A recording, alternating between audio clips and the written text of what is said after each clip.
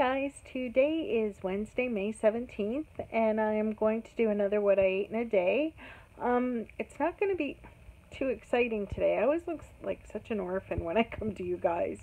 Um, it's not going to be too exciting today. Um, this morning was my bulletproof coffee, which I do have um, just the black Keurig coffee and I the breakfast blend, and I put in one teaspoon of coconut oil, a tablespoon of butter, and a tablespoon of the sugar-free sweet Italian coffee mate. And I know that's not keto, but it's Sandy's bulletproof coffee, and I'm losing weight on it, and it keeps me fairly sane. So I'm going to keep doing it. Um, my lunch today, I'm busy trying to do some stuff up, so I'm not really hungry, um, but I don't know what to do, so I decided um, that I was going to have another coffee, but this one is going to be over ice, and I'm adding a Premier protein shake to it. Um, I believe it's caramel, caramel something, or yeah, caramel, I don't know, caramel something. So it's like a, um, a caramel iced coffee, and it's really good. Um, tonight, I'm pretty sure what I'm going to have for supper, but um, I'll wait and I will show you guys then. Um, and I just want to show you, um, because I'm not really filming the food, I'm just telling you what I've had today, or am in the process of having my, um, my protein coffee over ice. But I want to show you how I calculate everything and how I keep track of everything.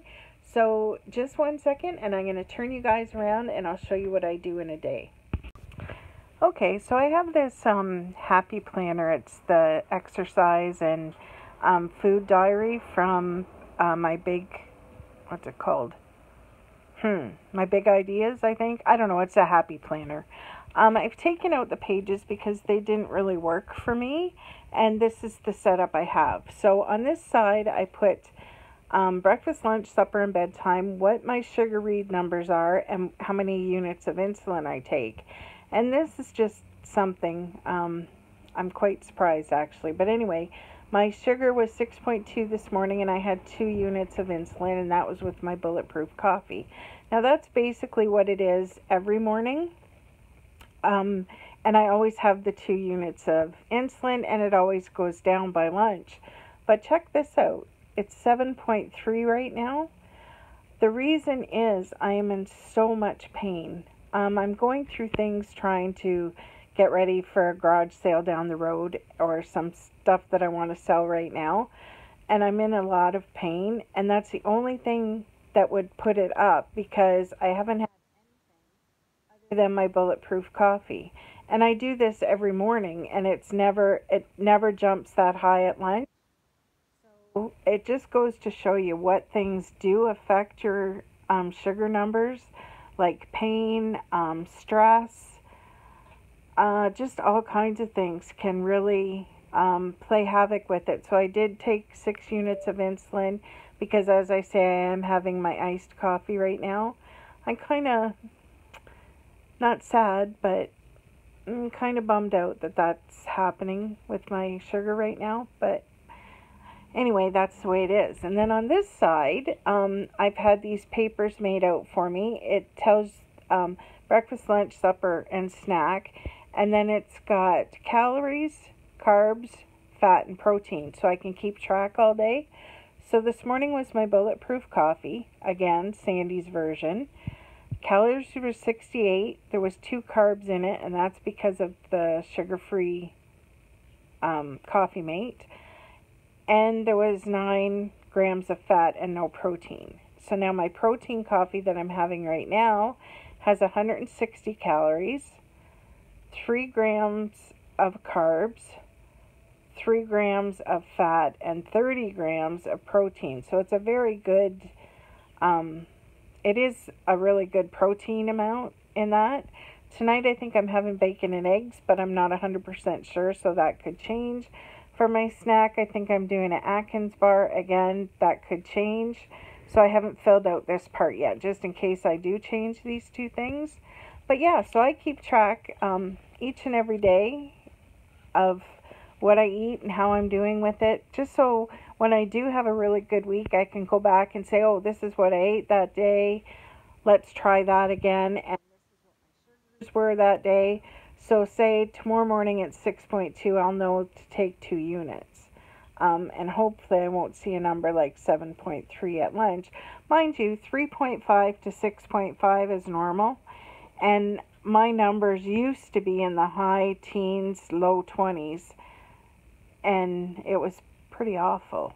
So um, 7.3 is still good for me. Um, but it's funny, now I'm used to seeing all my numbers within the 3.5 to 6.5. So I'm looking at 7.3 thinking it's high, which for me right now it is. But anyway, I just wanted to show you guys that too so that you know like how I do keep track of it.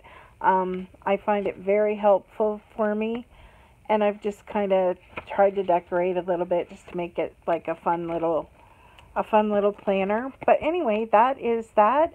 And I will see you guys either at snack time or supper time. Hope you all have a great afternoon. Hi guys, just back to let you know what I'm having for snack.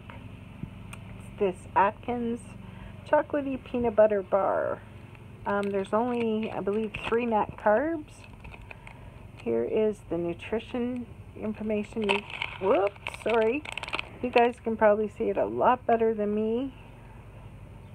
But anyway, this is what I'm having. I'm going to probably just take bites on and off all afternoon. And that is snack. So I'll see you guys at supper. Hi friends, so I am just getting ready for supper. Um, tonight I'm having bacon and eggs.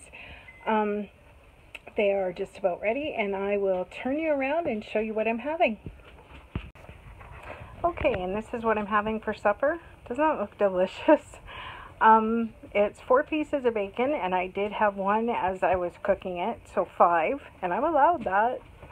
Um, two eggs, two fried eggs. Um, one is fried, then there's some herb and garlic um, Swiss cheese in the middle, and then another fried egg on top teaspoon of sour cream, a teaspoon of salsa, and a teaspoon of the green, the green hot sauce, which I used to not like hot things.